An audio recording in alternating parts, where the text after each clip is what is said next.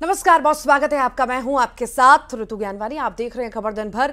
बात करेंगे अमरवाड़ा की। अमरवाड़ा उपचुनाव से जुड़ी ये बड़ी खबर है। कमलेश शाह होंगे बीजेपी उम्मीदवार। बीजेपी ने कमलेश शाह को प्रत्याशी बनाया है। हाल ही में कांग्रेस छोड़कर बीजेपी में शामिल हुए थे। बीजेपी में शामिल होने के बाद ये सीट खाली हो गई थी। अमरवाड़ा का ज़िक्र हम कर रहे हैं। यहाँ पर उपचुनाव होना है और उपचुनाव होने वाले हैं कमलेश शाह। यहाँ पर यहाँ से बीजेपी उम्मीदवार होंगे। बीजेपी ने कमलेश शाह को प्रत्याशी बनाया है। बता दें, हाल ही में कांग्रेस छोड़कर बीजेपी में वो शामिल हुए थे। बीजेपी में शामिल होने के बाद ये सीट खाली हुई थी और अब इस पर उपचुनाव होने जा रहे हैं, जहाँ से बीजेपी ने कमलेश शाह को मैदान में उतारा है। ज़्यादा जानकारी के लिए सहयोगी शैलेंद्र हमारे साथ जुड़ गए हैं। शैलेंद्र, उपचुनाव होना है अमरवाड़ा में और उपचुनाव के लिए कमलेश शाह को मैदान में उतारा है।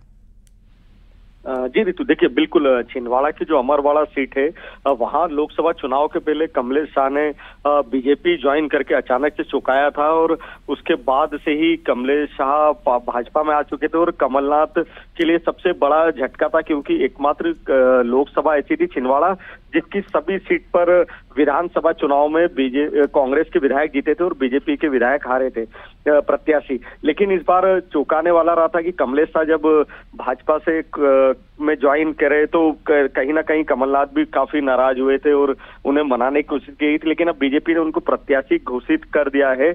और यहाँ पर 10 जुलाई को जो मतदान होना है हम्म। तो पार्टी ने अपनी तरफ़ से प्रत्याशी घोषित कर दिया। अब कांग्रेस के लिए चुनौती होगी कि वहाँ पर वो कमलेश के सामने किस नेता को उतारे जो विधायक के चुनाव में चुनौती दे सके। लेकिन बीजेपी ने अभी यहाँ पर कहीं ना कहीं जल्दी से चुनाव अपना प्रत्याशी घोषित करके कमलेश शाह को अपनी एक रणनीति सामने ला दी है। अब कांग्रेस के लिए एक चुनौती होगी और निश्चित ही यहाँ पर 10 जुलाई को जो वोटिंग होना, उसके पहले कांग्रेस भी अपना कोई अच्छा उम्मीदवार देगी तो एक अच्छी तगड़ी फाइट देखने को मिल सकती है, क्योंकि नकुल नाथ जो अभी लोकसभा चुनाव आ रहे हैं, वो बोल भी चुके हैं कि अब जो अमरवाड़ा का चुनाव है, वो एक बड़ी चुनौती होगा कांग्रेस के लिए। तो निश्चित ही इस बार अमरवाड़ा में जो चुनाव होना है, वो कांग्रेस और भाजपा आमने सामने टक्कर होगी। ठीक बहुत बहुत शुक्रिया। शैलेंद्र।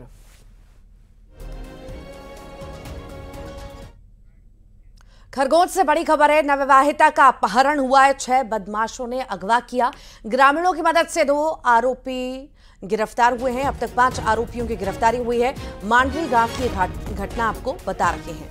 नवविवाहिता का अपहरण कर लिया गया। गाँव वालों की मदद से दो की गिरफ्तारी हुई। बता दें, इस पूरे मामले में अब तक पाँच गिरफ्तारियाँ हो चुकी हैं। गाँव के छह लड़के आए थे। जिसे एक लड़की को अगवा किए थे। इसमें से दो मौके में ही गिरफ़्तार हो गए थे। चार बाकी थे। तीन को पुलिस ने आशुतोष हमारे साथ जुड़ गए आशुतोष, नवविवाहिता का अपहरण हुआ था। आरोपियों की गिरफ्तारी हो चुकी है। पूछताछ में क्या कुछ सामने आया है?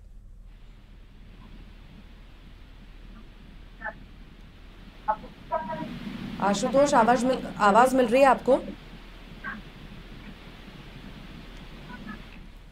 आशुतोष, आवाज़ मिल रही है आपको?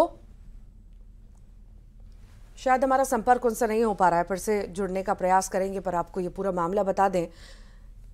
जहाँ खरगोन में नवविवाहिता का अपहरण किया गया उसे अगवा किया गया, उसके बाद ग्रामीणों की मदद से दो की गिरफ्तारी हुई, और उसके बाद सभी की गिरफ्तारी एक एक कर हो गई। फ़िलहाल सभी से पूछताछ जारी। है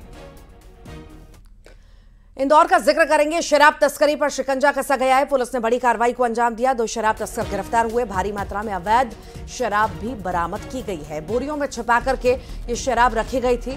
अब ये बरामद कर ली गई है। साथ ही साथ आपको बताएँ, ये शिकंजा बड़ा कसा गया है और दो शराब तस्कर भी गिरफ़्तार हुए हैं। साथ ही साथ भारी मात्रा में अवैध शराब जो इनके पास थी, वो भी बरामद कर ली गई है। बोरियों में छपा करके शराब रखी गई थी, जिसे बरामद कर लिया गया।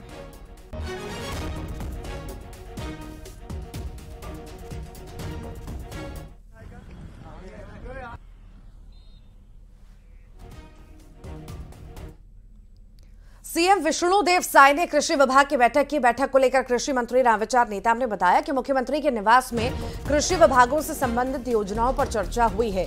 कृषि विभाग के साथ ही धान खरीदी से संबंधित अधिकारी भी बैठक में मौजूद रहे। बैठक में एक एक बिंदुओं पर चर्चा हुई है। हमारे विभाग से 25 लाख किसानों के खातों तक कृषक उन्नत योजना का लाभ पहुँचाया गया है। किसानों के खाद बीज को लेकर भी चर्चा हुई। खाद बीज का पर्याप्त भंडारण है। कहीं अगर कोई कमी हो भी जाए तो आसपास से व्यवस्था की जाएगी। कहीं शिकायत की कोई गुंजाइश ना हो, इस पर ध्यान दिया जाएगा। कृषि से संबंधित जितनी योजना है, उसका लाभ किसानों तक कैसे पहुँचे, इसकी निगरानी कर रहे हैं। आज माननीय मुख्यमंत्री जी के निवास में कृषि विभाग से संबंधित सभी योजनाओं के बारे में बहुत ही गंभीरता के साथ चर्चा हुई। बहुत ही सकारात्मक बैठक रही है। और माननीय मुख्यमंत्री जी की उपस्थिति में ये बैठक होने से विभाग के अधिकारियों का मनोबल भी बढ़ेगा और हम सबको काम करने के लिए एक नई दिशा भी एमपी में पीएम श्री पर्यटन वायु सेवा का आगाज़ हो गया है। राजधानी भोपाल में सीएम मोहन यादव ने इस सेवा का शुभारंभ किया। जिसके बाद भोपाल से पहली फ़्लाइट जबलपुर पहुँची, जहाँ कैबिनेट मंत्री राकेश सिंह और सांसद आशीष दुबे समेत कई लोगों ने इसका स्वागत किया। आपको बता दें कि प्रदेश सरकार ने छह शहरों के बीच इस सेवा की शुरुआत की और इस मौके पर सीएम मोहन यादव ने कहा कि मौजूद दौर स्वर्णिम काल की तरह है। हवाई यातायात की दिशा में हमें आगे बढ़ना है। एमपी में डॉक्टरों की टीम, एयर एंबुलेंस के साथ तैयार है। कलेक्टर से संपर्क कर किसी की भी जान बचाई जा सकती है। ये बदलते दौर का समय है। हम सबके लिए सौभाग्य की बात है, देश के अंदर वर्तमान का दौर तो स्वर्णिम काल की तरह चल रहा है। माननीय मोदी जी के नाम पर समर्पित ये सेवा जितना अच्छा इसका हो सकता है, अब इसके आधार पर मुझे पूरा भरोसा है, उद्योग, व्यापार हेल्थ सभी सेक्टर में इसका लाभ मिलेगा। खास करके संस्कृति के हमारे ऐसे केंद्र जैसे अपन कभी कल्पना करेंगे, दो दिन बाद जब हम दो ज्योतिर्लिंग को जोड़ने की तरफ़ आगे बढ़ रहे हैं तो ओंकारेश्वर और महाकालेश्वर, कम समय में इंदौर से या भोपाल से, जिसके पास समय की कमी आज के सबसे बड़ी संकट समय का ही, ऐसे में कम समय में वो दर्शन करके निकल के जाए और आगे जाकर के ऐसे हमारे धार्मिक स्थल और ओरछा, सलकनपुर, कटनी या जो और अपने स्थान है, जिन स्थानों को भी जोड़ेंगे। हमारी एयर एंबुलेंस तैयार है डॉक्टर के साथ। कभी भी कोई आवश्यकता पड़े तो तुरंत आप केवल कलेक्टर के माध्यम से कॉल करके स्टेट से कम्युनिकेशन होगा। डॉक्टर और कलेक्टर के आधार पर किसी की भी जान बचाना। तो हमारी एयर एंबुलेंस ने अभी चुनाव में भी चारों चरण में ड्यूटी निभाई है। कांकेर सांसद ने न्यूज़ एटीन से बातचीत में कहा कि प्रधानमंत्री ने हमें सरकारी योजनाओं को जन जन तक पहुँचाने, लोगों की भलाई के काम में जुटने की सलाह दी है। अब क्षेत्र में जाएँगे और छत्तीसगढ़ के विकास में योगदान देंगे। कांकेर लोकसभा सीट जीतकर दिल्ली पहुँचे भोजराज नाग हमारे साथ मौजूद है, चर्चा करेंगे। भोजराज जी पहली बार दिल्ली पहुँचे हैं, मोदी के शपथ ग्रहण समारोह में शामिल हुए। क्या चर्चा हुई मोदी जी से आपकी? निश्चित रूप से नरेंद्र मोदी जी एक ऐसे जनप्रिय नेता हैं और भारत के ही नहीं, दुनिया के सबसे लोकप्रिय नेता हैं नरेंद्र मोदी जी। और नरेंद्र मोदी जी तीसरी बार प्रधानमंत्री के रूप में शपथ लिए और ऐसा क्षण, जो ऐतिहासिक क्षण जिसको कहा जाता है, उसमें हमें जाने का और सांसद बनने का परम सौभाग्य प्राप्त हुआ। इसके लिए मैं भारतीय जनता पार्टी के शीर्ष नेतृत्व को और सभी हमारे देवतुल्य कार्यकर्ताओं को बहुत बहुत हार्दिक अभिनंदन व्यक्त करता हूँ और मैं उनको साष्टांग प्रणाम करता हूँ। मोदी जी ने सभी सांसदों से बात की शपथ ग्रहण समारोह के दौरान। किस तरीके से अब तीसरी बार जो सरकार है वो काम करेगी? सांसदों को क्या लक्ष्य दिया गया है? मोदी जी ने स्पष्ट रूप से कहा कि भारत को विश्वगुरु बनाना है, भारत को विकसित राष्ट्र बनाना है। न हमको थकना है, न रुकना है, आगे बढ़ना है। और निश्चित रूप से मोदी जी एक महान व्यक्ति हैं और मोदी जी के नेतृत्व में भारत विश्वगुरु बनेगा, भारत विकसित राष्ट्र बनेगा। मोदी जी ने प्रभु श्री रामचंद्र जी के मंदिर बनाने का काम किया। आगे चल के, आगे चल के इस भारत देश में और भी विकास के काम होंगे। हर व्यक्ति को उसकी मूलभूत सुविधाएँ। गाँव गरीब किसान महिला और नौजवान ऐसे सारे वर्ग को हमारी केंद्र सरकार और राज्य सरकार की जो योजना है उसका लाभ मिलेगा ऐसा हम सब प्रयास करेंगे। जी बिल्कुल। दिल्ली से आप रायपुर पहुँचे और सीधे संगठन की बैठक में शामिल हुए यहाँ पर चर्चा हुई है। क्या कुछ रहा है? संगठन से क्या निर्देश मिले हैं अब? नहीं दिल्ली से रायपुर आने के बाद सौजन्य तौर पर हमारे जो वरिष्ठ हैं संगठन मंत्री माननीय अजय जामवाल जी, क्षेत्रीय संगठन मंत्री और माननीय पवन साय जी, हमारे प्रदेश संगठन महामंत्री, इनको हमने धन्यवाद दिया, उनका आशीर्वाद लिया, क्योंकि उनके आशीर्वाद से ही टिकट प्राप्त हुआ था और जीत भी हासिल हुई, इसलिए हमने उनको धन्यवाद दिया। जी बिल्कुल, ये थे भोजराज नाग जी जिन्होंने कहा कि संगठन के साथ बैठक हुई है। वहीं मोदी जी के शपथ ग्रहण में समारोह में भी शामिल हुए हैं तो विकास के विजन को लेकर चर्चा हुई और उसी के साथ आगे बढ़ेंगे। कैमरामैन राजेंद्र सिंह के साथ आकाश शुक्ला, न्यूज़ 18 रायपुर, छत्तीसगढ़। एनटीए के प्रमुख प्रदीप जोशी को लेकर छत्तीसगढ़ में भी सियासत गरमाई। पूर्व मुख्यमंत्री भूपेश बघेल का ट्वीट सामने आया। सोशल मीडिया पर उन्होंने लिखा, पोस्ट लिखा है, लो भला। सूचना मिली है कि प्रदेश भाजपा सरकार ने सीजीपीएससी की कार्यप्रणाली सुधारने के लिए जो आयोग बनाया है, इसके प्रमुख वही प्रोफेसर प्रदीप कुमार जोशी हैं, जो एनटीए के प्रमुख सदस्य भी हैं। पूरा देश देख रहा है कि नीट की परीक्षाओं में भारी धांधली के कारण लाखों बच्चों का भविष्य अधर में है, जिस पर पूरे देश के अभ्यर्थी और उनके माता पिता प्रश्न खड़े कर रहे हैं। उन्हें अब मुख्यमंत्री विष्णुदेव साय हमारे बच्चों की व्यवस्था सुधारने के लिए बुलाएँगे।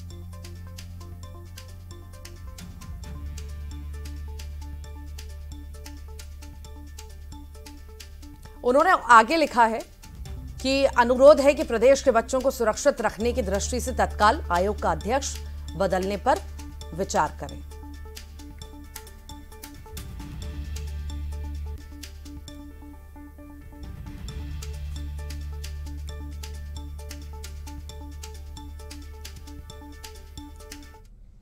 बिलासपुर से बड़ी खबर है, बदमाशों ने वकील से लूट की है। घटना का सीसीटीवी भी सामने आया है। वकील की पिटाई करते नज़र आ रहे हैं बदमाश। आरोपियों की तलाश में फ़िलहाल पुलिस जुटी हुई है। तो अज्ञात बदमाशों के द्वारा ये लूट की वारदात को अंजाम दिया गया है। ये तस्वीरें बिलासपुर की आप देख रहे हैं। घटना का सीसीटीवी भी सामने आया है। जहाँ मैं गया हुआ था वहाँ जैसे ही पहुँचा कुछ अज्ञात लोगों के द्वारा अचानक मेरे पर हमला करते हुए मेरे पॉकेट में रखे पाँच हज़ार रुपये ज़्यादा जानकारी के लिए सहयोगी उमेश मौर्य हमारे साथ जुड़ गए हैं। उमेश दिन दहाड़े ये लूट की तस्वीरें हम देख रहे हैं। आखिर क्या कुछ सामने आ पाया है अभी तक? देखिए बिलासपुर में लगातार अपराधियों के जो हौसले हैं वो बुलंद है। आप देख सकते हैं कि किस तरीके से एक वकील जो है उसको बेरहमी से वो पीटते हुए बदमाश दिखाई दे रहे हैं। इसके साथ ही उनके पास रखे ज़रूरी जो दस्तावेज़ थे पाँच हज़ार रुपए थे वो लूट कर फरार हो गए। फ़िलहाल इस पूरे मामले को लेकर जो पीड़ित है रवीद गंधर्व उन्होंने थाने में इसकी शिकायत की है। लेकिन सबसे ताजुब की बात ये है कि थाने में शिकायत के बाद भी पुलिस इस मामले पर एफआईआर दर्ज नहीं की है अब तक। लिहाजा जो पीड़ित है वो खुद जहाँ पर ये सीसीटीवी फुटेज कैमरा लगा था वहाँ से फुटेज निकालकर थाने पहुँचा था और शिकायत की है। फ़िलहाल देखना यह होगा कि इस पूरे मामले के सामने आने के बाद किस तरीके से पुलिस अब एक्शन लेती है क्या जो बदमाश आरोपी है जिस तरीके से बेरहमी से वकील की पिटाई कर रहे हैं उनको कब तक गिरफ़्तार करती है ये देखने वाली बात होगी। फ़िलहाल पुलिस जो है वो कहीं ना कहीं मुखदर्शक जैसी स्थिति दिखाई दे रही है क्योंकि लगातार अपराध बढ़ते जा रहे हैं लगातार घटनाएँ हो रही हैं लेकिन इसको रोक पाने में पुलिस जो है वो नाकाम साबित हो रही है फ़िलहाल। ठीक बहुत बहुत शुक्रिया। छत्तीसगढ़ के सरकारी स्कूलों की जर्जर हालत को लेकर हाईकोर्ट ने स्वतः संज्ञान लिया, जिस पर सुनवाई जारी है। कोर्ट ने प्रदेश सरकार को विस्तृत रिपोर्ट पेश करने को कहा। इसके लिए सरकार ने कोर्ट से दो सप्ताह का समय मांगा, जिसे कोर्ट ने स्वीकार कर लिया। आपको बता दें कि मीडिया रिपोर्ट पर हाईकोर्ट ने स्वतः संज्ञान लेकर जनहित याचिका की तरह सुनवाई शुरू की। मामले को लेकर पहले हुई सुनवाई में सरकार ने बताया था कि राज्य सरकार ने पहले ही स्कूल भवनों और मुख्यमंत्री स्कूल जतन योजना के सुधार के संबंध में कदम उठाए हैं। पूरे राज्य में स्कूलों की पहचान कर स्कूल प्रबंधन से रिपोर्ट मांगी है और ज़रूरत के मुताबिक मरम्मत और नवीनीकरण कराने के आदेश भी दिए गए हैं।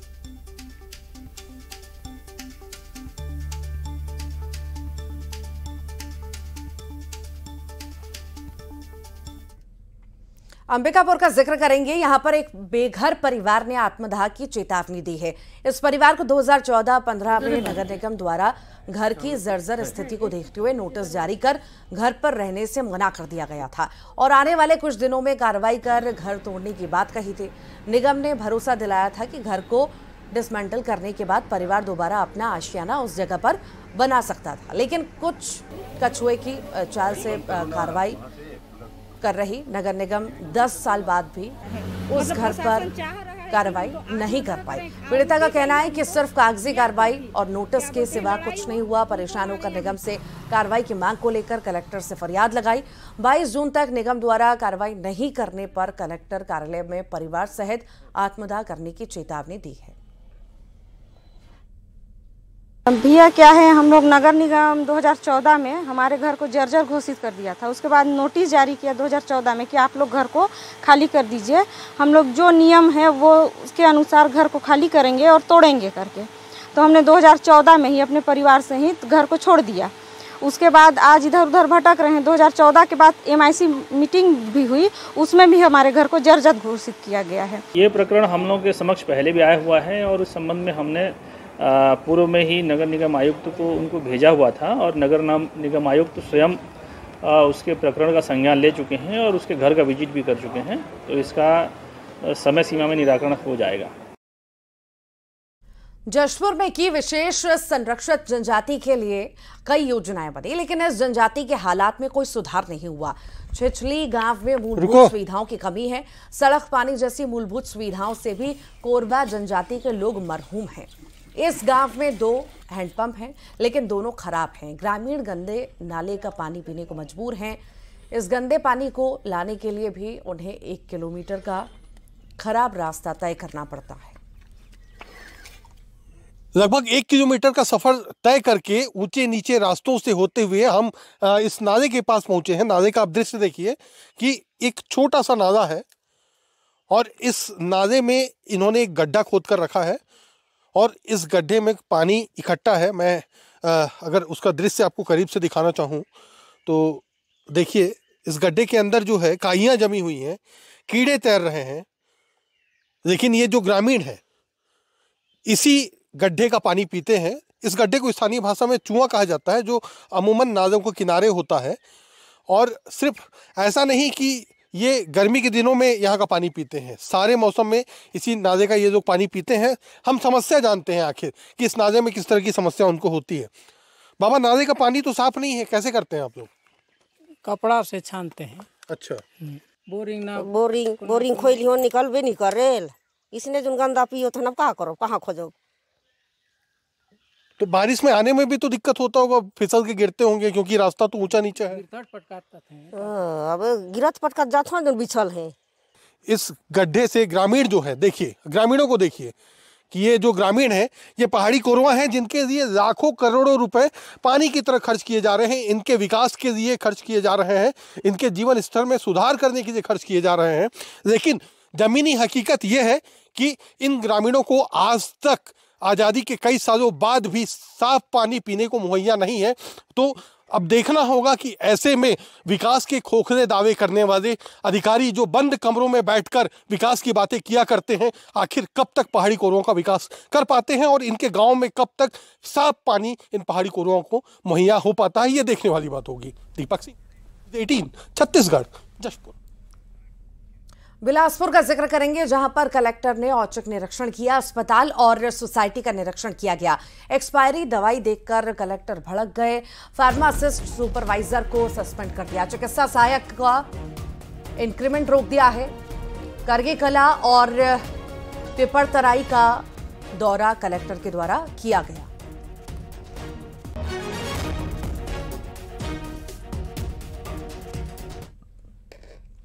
खरगोन में मानसून से पहले एक्शन मोड में नगरपालिका नज़र आ रहा है। जर्जर मकानों को लेकर एक्शन में है नगरपालिका। सड़सठ जर्जर मकानों को नोटिस भेजा गया है। सात दिन में हटाने का नोटिस दिया है। सात दिन के बाद कार्रवाई होगी।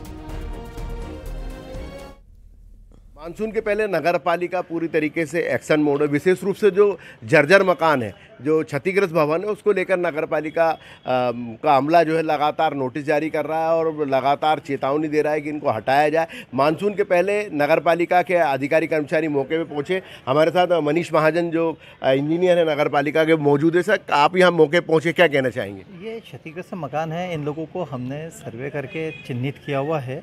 ताकि मानसून के पूर्व ये लोग उतार लें मकान ताकि कम से कम जनहानि से बचा जा सके। इनको सात दिन का समय दिया हुआ है। यदि सात दिन में यदि ये नहीं उतारते हैं तो फिर हम हमारे स्तर पर ये उतारने की कार्रवाई करेंगे जिसमें होने वाला खर्चे भी इन लोगों से ही वसूल किया जाएगा। मतलब अभी चेतावनी दी गई चेतावनी दी गई है ताकि ये खुद ही उतार लें इनको समय दिया गया है। इस समयावधि में नहीं उतारते हैं तो फिर आगे कार्रवाई करेंगे।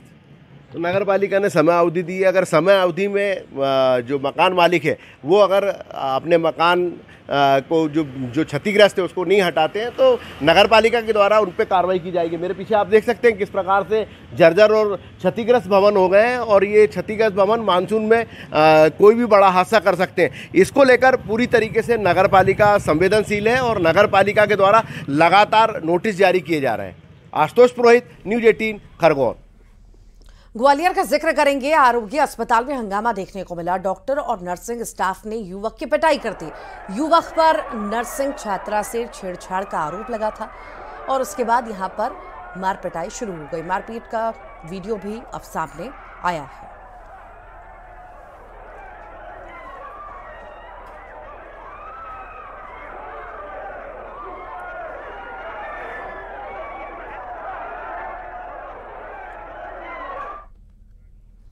खबर भोपाल से है, जहाँ पुलिस ने चोर गिरोह का खुलासा किया, उन्हें पकड़ा है। पुलिस ने इस चोर गिरोह के चार आरोपियों को गिरफ़्तार किया। इनके पास से चोरी की 18 बाइक बरामद की, जिनकी कीमत 16 लाख आंकी गई है। भोपाल में लगातार वाहन चोरी के मामले सामने आने के बाद पुलिस आरोपियों की तलाश में जुटी थी। शहर में लगे तीस सीसीटीवी कैमरे की जाँच के बाद पुलिस ने आरोपियों को गिरफ़्तार किया।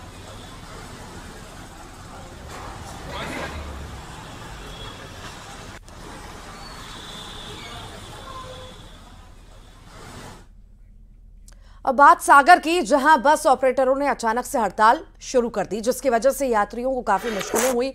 दरअसल, नए रूट का बस ऑपरेटर विरोध कर रहे हैं। आपको बता दें कि 15 मई से नए बस स्टैंड से बसों का संचालन शुरू किया गया, जिसकी वजह से बसों के नए रूट तय किए गए, जिसका बस ऑपरेटर विरोध कर रहे हैं।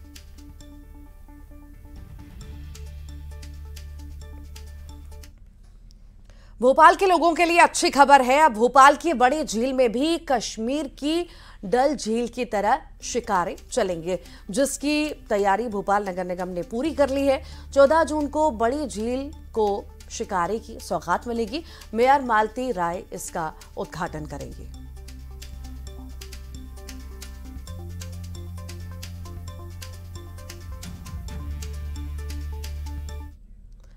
खबर जबलपुर से है, जहाँ इंजीनियरिंग स्टूडेंट्स ने वुमेन सेफ्टी जैकेट बनाई है, जो अकेली महिला के लिए बॉडी गार्ड की तरह काम करेंगी। इस सेफ्टी जैकेट को बनाने में छह महीने का समय लगा। इंक्यूबेशन सेंटर के तीन स्टूडेंट्स ने कड़ी मेहनत के बाद इस जैकेट को तैयार किया है।